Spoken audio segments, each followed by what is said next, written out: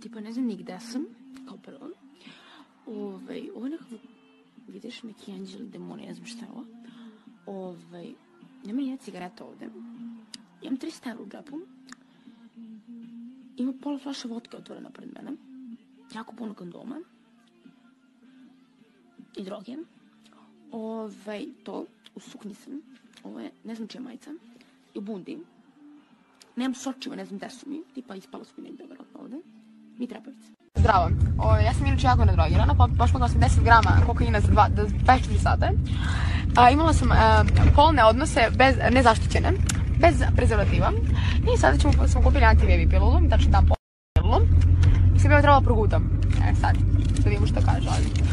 Kaže da ne je efikasnije ako se upotrebi u, na- u prvi 12 sati, ali možda 72 sata. Ali ja se plašim da sam jako trudna i ne želim da ubijem plod koji se nalazi u meni, tako da bi da, trebalo da popijem... Koliko prošlo? Dvane, više od Od 12 8 sati. ujutru. Pogledaj, Marija, Romanu se 12 i po sati. 12 i po, ja bože, trudno sam. o, ovo de, o, šta ko umre ovo dete? U meni je ih piškinga, ili tako nešto. Ne, možda što se napravi fetus. Je li to fetus? Dobro, kulirajte me ako. Aj, Marija, ide na Wikipediju, pošto tako se kulira.